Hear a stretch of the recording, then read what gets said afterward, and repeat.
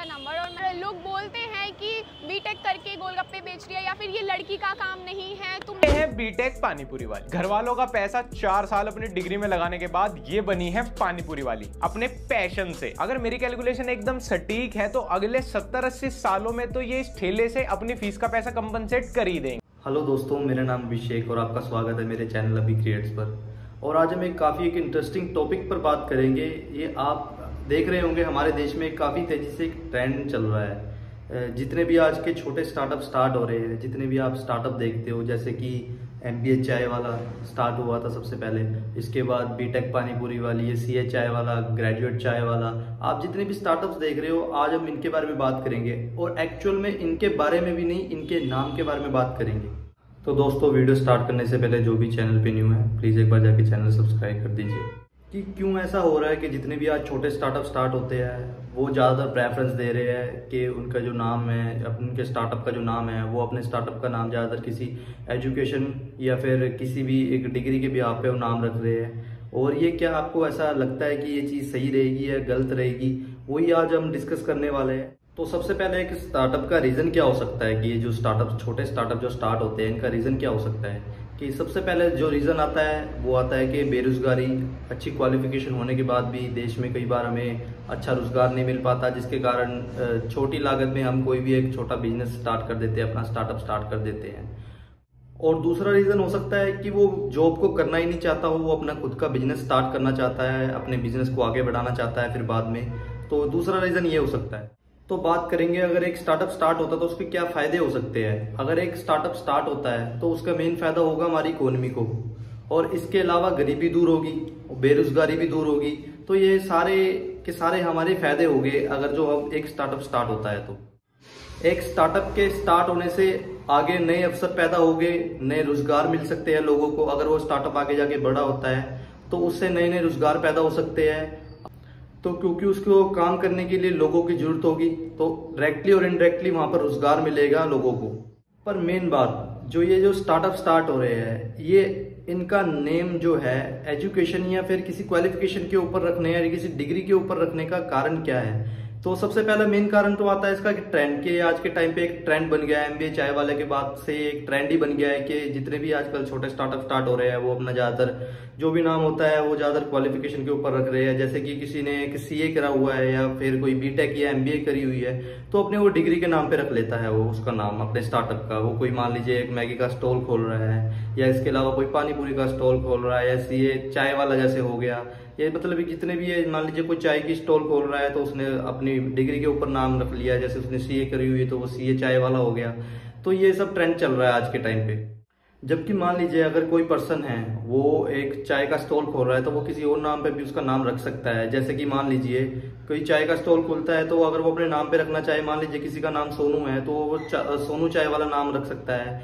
या फिर अगर कोई अपना सिटी पे चाहे तो एक, मान लीजिए लाहौर है, लाहौरी चाय वाला नाम रख सकता है। तो इसके अलावा ऐसे कई ज़रिए हैं जिससे वो नाम रख सकता है, या फिर कोई यूनिवर्सल नाम भी रख सकता है, जैसे टी कॉर्नर नाम रख सकता है। तो ऐसे कई ज़रिए है कि वो नाम रख सकता है ऐसे। बट क्योंकि ये ट्रेंड बन गया है आज के टाइम पे, क्योंकि एमबीए के चाय वाला के बाद से ट्रेंड ही बन गया है तो इसलिए वो ज़्यादातर प्रेफरेंस दे रहे हैं कि वो अपने डिग्री के नाम पे वो नाम रखते हैं ज़्यादातर। तो हम एक बार फ्लैशबैक में जाएँगे और समझेंगे ये चीज़ हमारे यहाँ पे स्टार्ट कैसे हुई है और ये ट्रेंड चला कैसे है इंडिया में। तो ये स्टार्ट होती है जब एंट्री होती है मार्केट में एम चाय वाला की। अब जो एम चाय वाला है, इसके फाउंडर का नाम है प्रफुल्ल बिलोरे और ये स्टैब्लिश हुई थी 2017 में।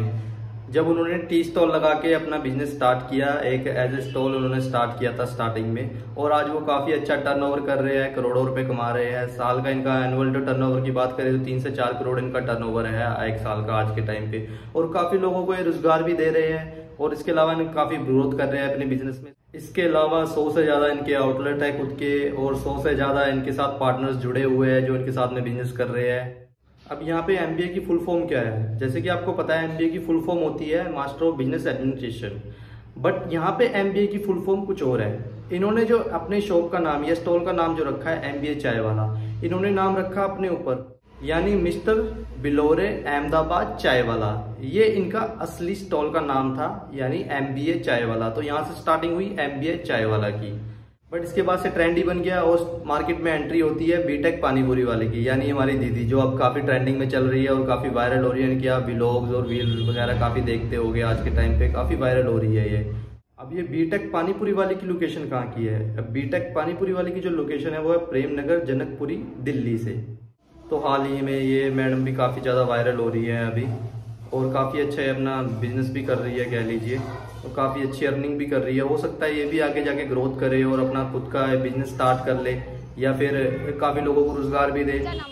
लोग बोलते हैं कि बीटेक करके गोलगप्पे बेच रही है या फिर ये लड़की का काम नहीं है तुम तो क्या ये ऐसे नाम के स्टार्टअप खोलने सही है या गलत है? उसमें आपका भी ओपिनियन रहेगा। आप एक बार ज़रूर अपना ओपिनियन दे देना कमेंट बॉक्स में।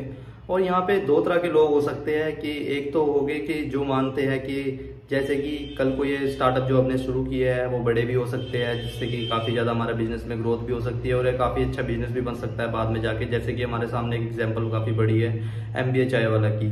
और इसके अलावा दूसरे कैटेगरी के लोग ये भी हो गए कि अगर तो मान लीजिए हम ये ऐसे स्टार्टअप स्टार्ट कर रहे हैं, एक टी स्टॉल या कोई गोलगप्पे की रेडी हम स्टार्ट कर रहे हैं या कोई गोलगप्पे का स्टॉल लगा रहे हैं तो उसमें तो कोई ऐसी बड़ी डिग्री की ज़रूरत है नहीं, वो तो ऐसे भी वो खोल सकते हैं तो क्या इतने लाख रुपए लगाना या इतने लाखों रुपए खर्च करने उस एजुकेशन पे क्या वो सही है? तो ऐसे दो तरह के लोग हो सकते हैं। बीटेक पानीपुरी वाली। घर वालों का पैसा चार साल अपनी डिग्री में लगाने के बाद ये बनी है पानीपुरी वाली। अपने पैशन से। अगर मेरी कैलकुलेशन एकदम सटीक है तो अगले सत्तर अस्सी सालों में तो ये इस ठेले से अपनी फ़ीस का पैसा कंपनसेट कर ही देंगे। आपका क्या ओपिनियन है? आप एक बार ज़रूर अपना कमेंट बॉक्स में ज़रूर बताना। यहाँ पे मेरा ऐसा कोई भी मोटिव नहीं है किसी को भी ऐसे टारगेट करने का।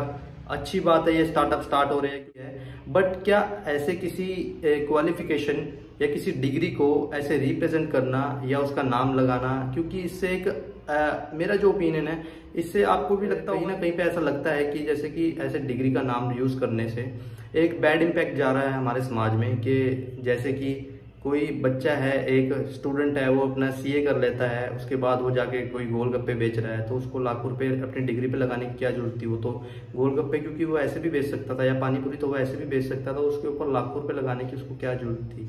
तो ये ऐसे दो ओपिनियन निकल के आते हैं। तो आपका क्या ओपिनियन है? आप एक बार ज़रूर कमेंट बॉक्स में बताना। और मेरा यहाँ पे कोई भी ऐसा किसी को भी टारगेट करने का ऐसा कोई इरादा नहीं है कि मैं किसी को ऐसे ठेस पहुंचाना नहीं चाहता या किसी को मेरी बात का किसी का भी तरह का बुरा लगा हो तो मेरी तरफ़ से बहुत ही बहुत सॉरी है आप सभी को। दोस्तों, आपको वीडियो अच्छी लगी है तो चैनल को सब्सक्राइब कर लीजिएगा और बेल आइकन दबाना मत भूलना ताकि मैं जब भी अपने नई वीडियो अपलोड करता हूँ तो आपको उसका नोटिफिकेशन मिल सके। आई होप आपको वीडियो पसंद आई होगी। Thank you so much